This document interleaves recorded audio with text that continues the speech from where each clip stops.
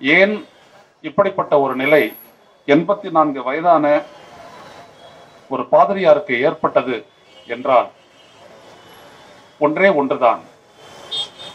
இந்த நாட்டினுடைய அரசு மோடி தலைமையிலான அரசு கார்ப்பரேட்டுகளுக்காக எதையெல்லாம் செய்கிறதோ அதற்கு எதிர்த்து யார் நின்றாலும் நீங்கள் இப்படிப்பட்ட முடிவைத்தான் சந்திக்க வேண்டியது இருக்கும் என்பதை உணர்த்தவே இந்த ஒன்பதாண்டு ஒன்பது மாத காலமாக அவரை சிறையில் வைத்திருந்ததும் அடிப்படையாக ஒரு சிறை கைதிக்கே இருக்கக்கூடிய ஒரு விசாரணை கைதிக்கே இருக்கக்கூடிய உரிமைகள் அனைத்தையும் மறுத்ததும் கடைசியாக உரிய மருத்துவ சிகிச்சை கூட பெற முடியாத நிலைக்கு அவரை தள்ளியதும் என்றைக்கோ குற்றப்பத்திரிகை தாக்கல் செய்யப்பட்ட பின்னரும் கூட அவரை விடுவிக்க நீதிமன்றங்கள் மறுத்ததும் இறுதியாக அவர் நோய்வாய்ப்பட நேர்ந்ததும் அப்படிப்பட்ட ஒரு நிலையிலும் கூட ஒரு அடிப்படை வசதிகளை செய்து தர மறுத்ததும் அதன் காரணமாக அவர் உயிரிழந்ததும் இந்த நாட்டிற்கு மோடி அரசு சொல்லியிருக்கக்கூடிய செய்திகளாகும். இதைத்தான் நாம் பார்க்க வேண்டும். தனக்கு இப்படிப்பட்ட ஒரு நிலை ஏற்படும் என்பதை முழுமையாக அறிந்திருந்தார். ஒரு வாக்குமூலத்தை போல அவர் கொடுத்த கடைசி பேட்டியில் அவர் சொன்ன செய்திகளை இங்கே நினைவு கூற வேண்டும். மதிப்பிற்குரிய ஐயா டி கே ரங்கராஜன் அவர்கள் ஏராளமான விவரங்களை சட்டபூர்வமான விவரங்களை எடுத்துரைத்தார். அதில் அவர் குறிப்பிட்டார் இந்திய அரசமைப்பு சட்டத்தின் ஐந்தாவது பட்டியல் ஷெட்யூல்டு ஏரியாஸ் என்று சொல்லக்கூடிய பழங்குடியின மக்களுக்கு அந்த மக்களினுடைய உரிமை அவருடைய வாழ்விடத்தில் காப்பாற்றப்பட வேண்டும் என்பதற்காக உருவாக்கப்பட்ட ஆயிரத்தி தொள்ளாயிரத்தி தொண்ணூற்றி ஆறாம் ஆண்டு panchayat extended to scheduled areas act என்று சொல்லக்கூடிய அந்த சட்டம். பஞ்சாயத்து ராஜ் சட்டம் எப்படி கிராமத்து மக்களினுடைய உரிமைகளை வாழ்வுரிமைகளை அவர்களுக்கான அதிகாரங்களை வரையறை செய்து நடைமுறைப்படுத்த ஒரு அரசமைப்பு ரீதியான ஒரு அமைப்பை உருவாக்கி தந்திருக்கிறதோ அதே போல அது நடைமுறைப்படுத்துவதற்காக இதே பஞ்சாயத்து ராஜ் சட்டம் extended to the scheduled areas என்று சொல்லக்கூடிய பழங்குடி மக்கள் மலைவாழ் மக்கள் காடுகளில் வாழக்கூடிய மக்கள் எல்லாம் அந்த உரிமைகளை பெற வேண்டும் என்பதற்காகத்தான் பேசா என்று சொல்லக்கூடிய panchayat raj extended to scheduled areas act nineteen ninety six செய்யப்பட்டது. இதை ஸ்டான் சாமி அவர்கள் குறிப்பிடுகிறார். குறிப்பிட்டு சொல்கின்றார் அந்த இடத்தில் வாழக்கூடிய ஜார்க்கண்டில் மத்திய பிரதேசம் ஒடிசா பிறகு ஓரளவிற்கு பார்த்தீர்களானால் மேற்கு வங்கத்தினுடைய கீழ்ப்பகுதி சத்தீஸ்கர் பஸ்தார் ரீஜன் உங்களுக்கு தெரியும் தண்டகாரண்ய காடுகள். இங்கே இருக்கக்கூடிய அந்த பகுதி மிகப்பெரிய கனிம வளங்கள் நிறைந்திருக்கக்கூடிய ஒரு பகுதி. இந்த கனிம வளங்களை சுரங்கங்கள் வைத்து தோண்டி எடுத்து சும்மா ஒரு டன்னுக்கு நாலாயிரம் ரூபாய் வரைக்கும் ஒரு ராயல்ட்டியை கொடுத்துட்டு கொள்ளையடிக்கிறது நடந்துகிட்டு இருக்குது அதை மிக விரிவா செய்யறதுக்கான ஒரு முயற்சி தான் மன்மோகன் சிங் ஆட்சி காலத்திலிருந்து இன்று வரை நடந்து வருகிறது. அப்படியான அந்த அவர்களுடைய முயற்சிக்கு தடையாக இந்த பழங்குடி மக்களினுடைய நலன்களை காப்பாற்றக்கூடிய போராளிகள் நசுக்கப்படுகின்றார்கள். அதில் தான் இப்பொழுது ஸ்டான் சாமியும் நசுக்கப்பட்டு இன்றைக்கு அவர் இல்லை என்கின்ற ஒரு நிலை ஏற்படுத்தப்பட்டிருக்கிறது. அவர் சொன்னது என்ன? இந்த இடம் அந்த பழங்குடி மக்களுக்கு உரியது.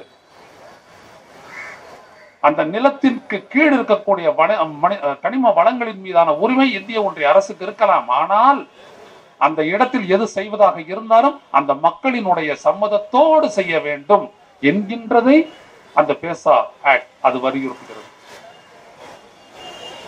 அதைத்தான் இவர் வலியுறுத்தினார்.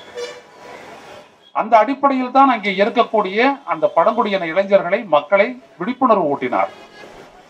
போராட்டம் நடந்தது. கொத்து கொத்தாக கைது செய்தார்கள். அப்படி பத்தாயிரக்கணக்கில் கைது செய்து சிறையில் அடைத்தார்கள். அப்படி சிறையில் அடைக்கப்பட்ட அந்த பழங்குடியின மக்களை எல்லாம் இளைஞர்களை எல்லாம் மீட்பதற்கு அந்த பெர்சிக்யூட்டட் பிரிசனர்ஸ் சாலிடாரிட்டி மூவ்மெண்ட் என்று மையம் என்ற ஒன்றை வைத்து இவர்கள் எல்லாம் அவர்களை விடுவிப்பதற்கான முயற்சியில் ஈடுபட்டார்கள். அரசு செய்வது என்னவென்றால் அரசு ஆட்சி அதிகாரம் அங்கே இருக்கக்கூடிய சிறு குறு வியாபாரிகள் முகவர்கள் இவர்கள் எல்லாம் செய்வது என்னவென்றால் அவர்களை கடனுக்கு தள்ளி நிலங்களை கம்மியான விலைக்கு எடுத்து அதை அப்படியே கார்ப்பரேட்டுகளுக்கு ஒட்டுமொத்தமாக விற்று விடுவது இந்த இடத்தில் தான் இந்த சட்டம் ஒரு குறுக்கீடாக நிற்கிறது. இந்த சட்டத்தை பிரதிநிதித்துவப்படுத்தித்தான் அவருடைய உரிமைகளை நிலைநாட்ட ஸ்டான் சாமி அவர்கள் போராடினார்கள். எனவே அவரை நீக்கக்கூடிய அவர் அந்த இடத்தில் இருந்து அவரை எடுக்க வேண்டும் என்பதற்காக ஒரு நீண்ட நெடிய முயற்சி நடக்கிறது. பீமா கோரகான் என்பது அவர்களுக்கு கிடைத்த ஒரு சாக்கு. நீங்கள் பார்த்தீர்களானால் இந்த போராட்டத்தில் கைது செய்யப்பட்ட அனைவருக்குமே பலருக்கும் ரோனா வில்சன் உட்பட சுரேந்திர டாக்லி உட்பட எல்லாருக்குமே ரெண்டு ஆண்டுகளுக்கு முன்னாடியே ஒரு மால்வேரின் மூலம் அவர்கள் பயன்படுத்தி வரக்கூடிய அந்த கணினி அமைப்பிற்குள் இப்படிப்பட்ட மாவோயிஸ்டுகளோடு மாவோயிஸ்டுகளுடைய கடிதம் என்று சொல்லக்கூடிய கடிதம் இமெயில் மூலமாக திணிக்கப்படுகிறது. அதை அவர்கள் பல முறை அவர்கள் திறக்காமலே இருக்கின்றார்கள் ஒரு முறை திறந்து விடுகிறார்கள் அவ்வளவுதான். இது தொடர்பாக விசாரணை நடக்கும் போது ஸ்டான்சாமி கேட்கின்றார் இது யார் எழுதியது? யாருக்கு எழுதியது? மீண்டும் மீண்டும் அந்த கேள்வி பதினெட்டு மணி நேரம் என்ஐஏ விசாரணை நடத்திருக்கிறது அதற்கு முன்னால் புனே காவல்துறை வந்திருக்கிறது அவரிடம் விசாரணை நடத்திருக்கிறது. ஒன்றுமில்லை இவருக்கும் அவருக்கும் சம்பந்தமில்லை என்று போய்விடுகிறார்கள். அதற்கு பிறகு வலிந்து அந்த வழக்கை என்ஐஏ எடுக்கிறது. அப்படி என்றால் என்ஐஏ யாருக்காக எடுக்கிறது? எடுத்து இவரிடம் விசாரணை நடத்தி இவர் கேட்ட கேள்விக்கு பதில் இல்லை ஆனால் இவரை கொண்டு சென்று கைது செய்து டிரான்சிட் வாரண்ட் கூட இல்லாமல் கொண்டு போய் சிறையில் வைக்கிறார்கள். அவருக்கு எல்லாம் புரிந்ததாகவே இருக்கிறது.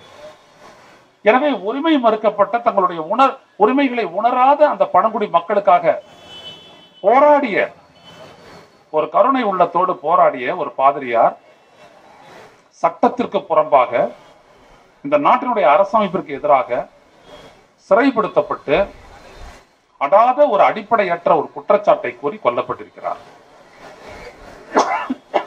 இதுதான் இந்த நாட்டில் உள்ள ஒவ்வொரு இளைஞரும் புரிந்து கொள்ள வேண்டும். இந்த நாட்டினுடைய அரசமைப்பு என்பது விரிவாக எல்லாவற்றையும் தருகிறது. ஆனால் அது மறுக்கப்படும் பொழுது அந்த இடத்தில் காப்பாற்றக்கூடிய ஒரே ஒரு துறை நீதித்துறை தான் ஆனால் அந்த நீதித்துறையின் அடி ஆழமான பகுதிகளாக இருக்கக்கூடிய இடங்களில் எல்லாம் அந்த உரிமை மறுப்பு நடப்பதுதான் நமது ஜனநாயகத்தில் நடக்கக்கூடிய மிகப்பெரிய பலவீனம் மிகப்பெரிய பலவீனம். எந்த இடத்தில் நீதித்துறை தனது பார்வையை வேறு பக்கம் திருப்பி விடுகிறதோ அந்த இடத்தில் இந்த நாட்டினுடைய அரசமைப்பு என்பது அர்த்தமற்றதாக்கி விடுகிறது ஆகிவிடுகிறது அதுதான் இப்படிப்பட்ட ஒரு மனிதனை கொன்றுவிடும் என்று சொல்லும் பொழுது சாதாரண ஒரு கிரிமினல் ப்ரொசீஜர் கோடின்படி பார்த்தால் அறுபத்தைந்து வயதுக்கு அதிகமான ஒருவரை காவல்துறை காவல்துறை காவல் நிலையத்திற்கு கூட கொண்டு சென்று விசாரணை நடத்த முடியாது கூடாது. ஆனால் இந்த சட்டத்தில் ஒரு எண்பத்தி நாலு வயதான ஒரு பாதிரியை ஒரு பொது நலனுக்காக இருக்கக்கூடியவரை பல்வேறுபட்ட நோய்களால் பலவீனப்பட்டு நிற்பவரை தொடர்ந்து சிறையில் வைத்திருக்க முடியும். ஒன்பது மாத காலத்திற்கு என்றால் அதனால் தான் யூ அப்பா அந்த சட்டத்தை நீக்க வேண்டும் என்று நாம் சொல்கின்றோம். என்னையே ஒரு காலகட்டத்தில் அதனுடைய அதிகாரிகள் நீங்கள் எல்லாம் இந்த நாட்டு மக்களின் முன்னால் தலைகுனிந்து நிற்க வேண்டிய ஒரு நிலை ஏற்படும். மோடி ஆட்சி இன்றைக்கு இருக்கும் நாளைக்கு போய்விடும். போக்கடிப்போம். எவ்வளவு காலம் தான் இவிஎம்ஐ வைத்துக் கொண்டு இவர்கள் ஏமாற்ற முடியும்? உங்களுடைய மூலாதாரம் அங்கேதான் இருக்கின்றது என்பதை உணர்ந்தவர்கள் நாங்கள். நாம் எத்தனை போராட்டங்கள் நடத்தினாலும் சரி அங்கே இருக்கின்றது அதனுடைய சூத்திரம். அவர்களால் ஒரு பன்னெண்டு மாநிலங்களில் அவர்களுக்கென்று பலம் இருக்கக்கூடிய மாநிலங்களை அதை சரியாக பயன்படுத்தினால் போதும். அவர்களால் ஆட்சி அதிகாரத்தை இருநூத்தி எழுபத்தி ஆறு இடங்களை கைப்பற்ற முடியும். அதைத்தான் அவர்கள் சாதித்திருக்கிறார்கள். இதைத்தான் நாம் உணரவில்லை உணர மறுக்கின்றோம் அல்லது உணர்வதற்கான வாய்ப்பு இல்லை. இந்த இடத்தில் தான் தோழர்களே நமது பலம் என்பதை முழுமையாக நாம் செலுத்தி இந்திய ஜனநாயகத்தை மீட்க வேண்டும். சட்டங்கள் இருக்கின்றது. பஞ்சாயத்து ராஜ் இருக்கும். பேசா சட்டம் இருக்கும். ஆனால் யாரும் தங்களுடைய உரிமைகளை காப்பாற்றிக் கொள்ள முடியாது. இன்றைக்கு மூன்றாயிரம் பேர் இந்த பகுதியில் இருந்து அவர் ஸ்டான் சாமி போராடி அந்த இடத்தில் இருந்து இன்றைக்கு சிறைப்பட்டிருக்கிறார்கள் விசாரணை கைதிகளாக. யார் அவர்களுக்காக போராட முன் வருவார்? இதுதான் தண்டகாரண்யத்திலும் நடக்கிறது.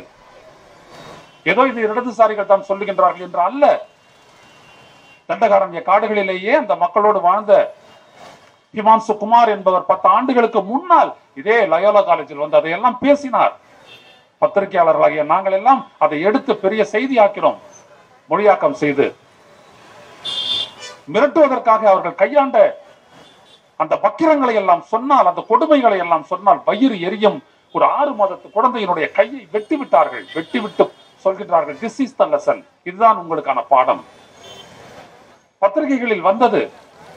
ஆனால் ஒரு விடுதலையின் போது இருந்த அந்த நெருப்பு நம்மிடையே இன்றைக்கு அவிந்து போய்விட்டது. அதுதான் காரணம். ஒரு மனிதன் என்றால் ஒரு பக்கம் கருணை இருக்க வேண்டும். கருணை இல்லாத இடத்தில் அவன் நெருப்பாக வேண்டும்.